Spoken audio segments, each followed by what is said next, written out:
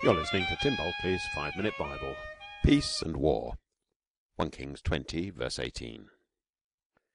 Jeremy Thompson pointed out on Facebook an interesting verse in 1 Kings 20, 18, where Ben Hadad, king of Damascus, having had a bit too much to drink, when Israel comes out for battle, says, If they've come for peace, take them alive. If they've come for war, take them alive which, as far as stirring pre-battle speeches go, is lacking a certain something.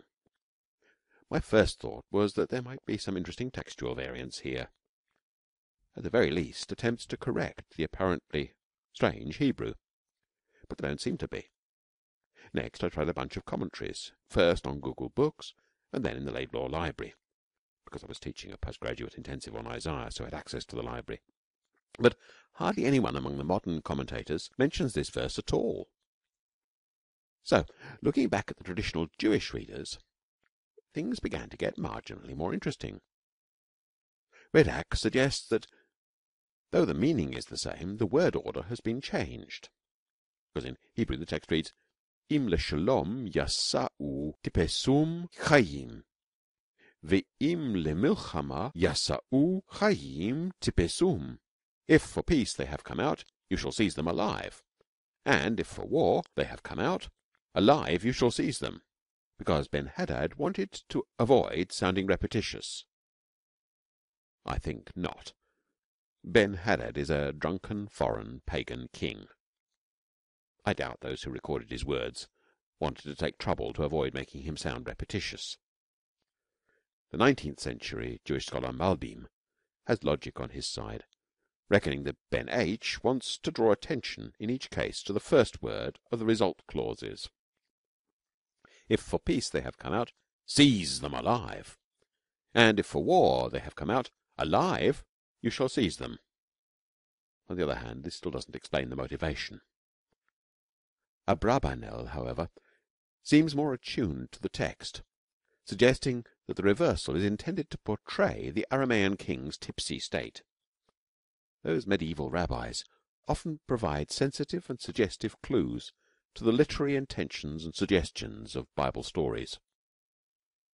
Looking into all this, I also found really interesting their careful reading of the passage that leads up to this fight. The passage begins when Ben Hadad gathers an army, including thirty two junior kings, and marches against Samaria. The message he sends to Ahab and Ahab's reply also seem strange. Thus says Ben Hadad, Your silver and gold are mine, your fairest wives and your children also are mine. The king of Israel answered, As you say, my lord, O king, I am yours and all that I have. Something weird's going on here. The two kings don't seem to be speaking the same language. And several of the commentators note this. Because Ahab apparently thinks he's simply accepting Aramaean overlordship, while Ben Hadad seems to think he's announcing his intention to take everything. Note the mention of the fairest wives and children. Radak and the Targum Jonathan take the Ki'im, opening of verse 6, to mark Ben H's correcting of this misunderstanding. Rashi goes even further and notes that the threat to take anything desirable in your eyes suggests that by comparison the things silver, gold, wives, children that were mentioned earlier were not as desirable as some treasure that Ahab is refusing. What treasure could this be? It can only be a Sefer Torah, a book of the law. And in this, Rashi's reflecting the claim in the Talmud that Ahab's longevity as a king is due to his respect for the Torah.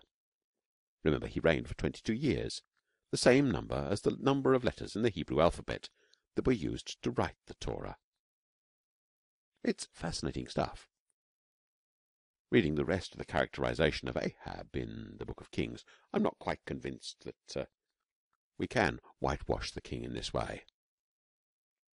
But it certainly points up an interesting disparity in the words and the points of view of these two kings that we might have glossed over and failed to notice if we didn't pay careful attention to the wording. And that careful attention to the wording is just what the Jewish rabbis offer us. No deep theological meaning today, but a bit of fun with a rather dull Bible text.